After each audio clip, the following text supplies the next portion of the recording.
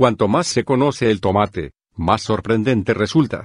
Su característica esencial es que se trata de una planta superviviente, cuyos frutos poseen propiedades tan saludables que los laboratorios tratan de encapsularlas en píldoras. Nacido en algún lugar entre Chile y México, debido a su increíble diversidad genética, que le permitió adaptarse a nuevas condiciones. Según los 300 científicos que en 2012 consiguieron terminar la secuencia del genoma del tomate, este posee 35.000 genes, 7.000 más que el ser humano, consecuencia de mutaciones que triplicaron varias veces su ADN.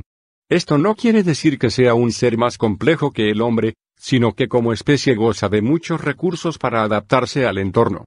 El tomate, Solanum lycopersicum, salió de América con los españoles, que lo llevaron a Europa y Asia. La palabra deriva del azteca tomatl, fruto con ombligo. Propiedades del tomate El tomate contiene pocas calorías. 100 gramos proporcionan solo 18, ya que la mayor parte de su peso, un 95%, corresponde a agua. Su sabor agridulce es debido a una pequeña cantidad de azúcares simples y a algunos ácidos orgánicos, como el cítrico y el málico, responsables de que resulte apetitoso y digestivo.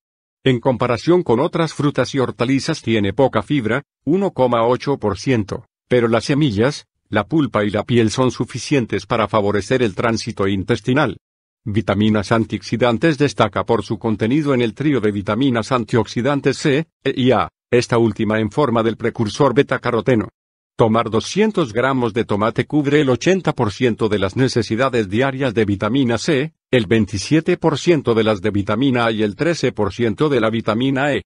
Las tres vitaminas previenen la degeneración de los tejidos, el envejecimiento prematuro y colaboran con el sistema inmunitario.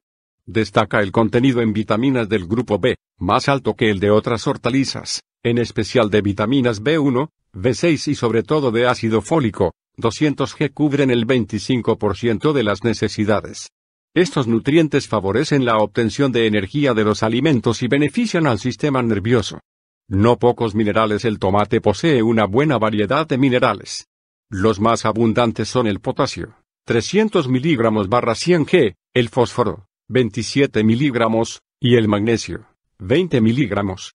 No es desdeñable el hierro que aporta, 0,5 miligramos barra 100 G, por lo que 200 gramos permiten cubrir el 6% de las necesidades diarias en la mujer adulta y el 8% en el hombre.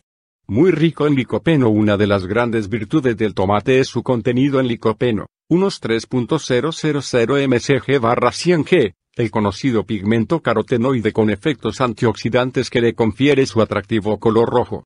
Beneficios del tomate para la salud Según varios estudios, los individuos que consumen más licopeno adquieren una protección extraordinaria frente a enfermedades cardiovasculares, reducen el riesgo de sufrir diabetes, Alzheimer, ceguera, sordera y otros trastornos asociados al envejecimiento prematuro.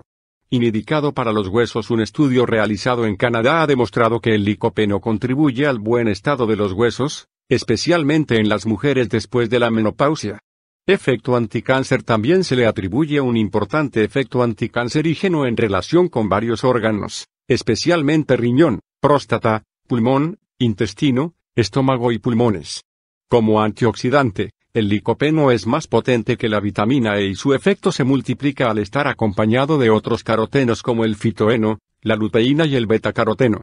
Este último puede transformarse en vitamina A cuando el cuerpo lo necesita para proteger la piel, los ojos o participar en el crecimiento y la regeneración de los huesos o en la formación de tejido embrionario.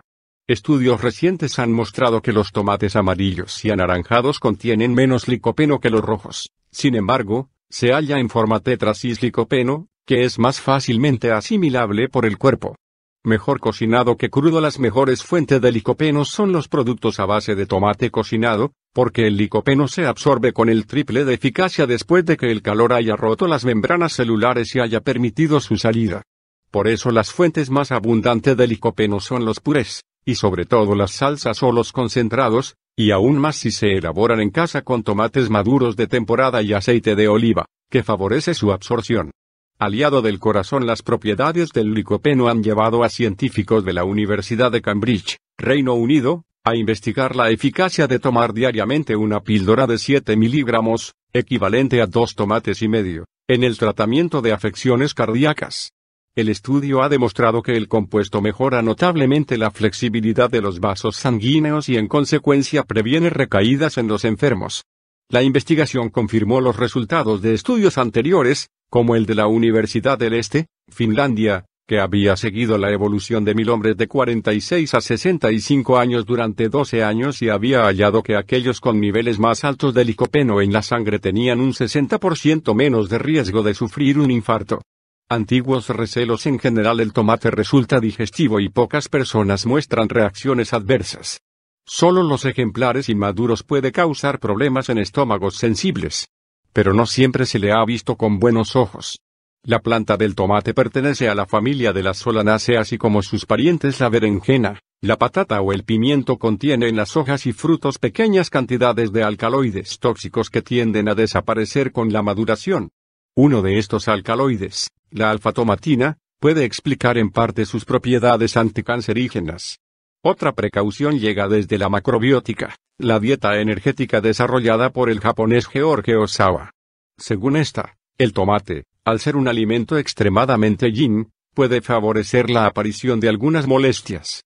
Sin embargo, en una persona sana, con una dieta equilibrada, el tomate no se asocia a efectos negativos. El tomate en la cocina. En el mundo se han desarrollado más de 20.000 variedades con formas, colores y aromas peculiares. La mayoría son rojas, pero también las hay amarillas, naranjas, rosadas, púrpuras, verdes o incluso multicolores y rayadas. Estom Blumenthal, uno de los chefs más prestigiosos del mundo, y un entusiasta del tomate, impulsó una investigación para conocer cuáles eran las moléculas responsables del gran poder que tiene esta fruta barra hortaliza para aportar sabor. Embajador del sabor umami los científicos descubrieron que el tomate contiene elevadas cantidades de ácido glutámico, un aminoácido, sobre todo en las semillas. Estas moléculas son las que hacen que el tomate, junto con el champiñón, las espinacas o el queso, sea uno de los mejores mensajeros del sabor umami en la cocina mediterránea, como las algas kombu o el tamari lo son para la cocina oriental. El umami, llamado el quinto sabor, ofrece una experiencia gustativa especial, porque sirve de puente entre otros sabores, y es capaz de sensibilizar al paladar, haciéndolo más receptivo. Esa puede ser otra de las características que hacen que el tomate despierte las papilas gustativas y permita impregnar de sabor cualquier plato. Rey de los fogones se lleva bien con las berenjenas, el ajo, la cebolla, las aceitunas o el apio. Los italianos, que hacen un gran uso del tomate, tienen una receta que combina estos ingredientes en un único plato. Se trata de la caponata, un guiso siciliano que puede tomarse frío o templado, pero siempre alineado con una buena vinagreta, para realzar el sabor del tomate.